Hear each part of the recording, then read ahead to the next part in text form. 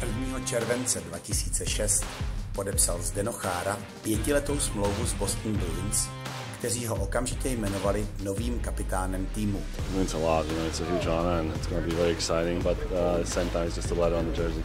Dlouhých 14 let pak slovenský velikán představoval základní stavební kámen mužstva, které v roce 2011 vyhrálo Stanley Cup a celkem třikrát postoupilo do finále. Do své 24. sezóny v NHL však Chára vstoupil v jiných barvách, v dresu Washington Capitals. I think when you bring in a guy like Zdeno Chara, certainly sends a message inside that locker room that is an organization we feel we can add a guy like Chara. Capitals certainly, I think, are a dangerous team. V novém týmu už není kapitánem. Tuto roli plní v americké metropoli Alexander Ovečkin.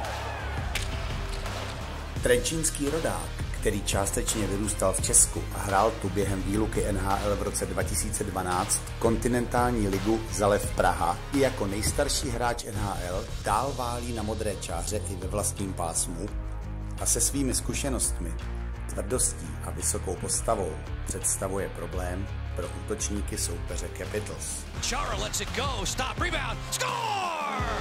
Jacob Frana. Nice play by Chara. Sobotu se poprvé postaví proti týmu svého srdce, proti kamarádům z Bostonu.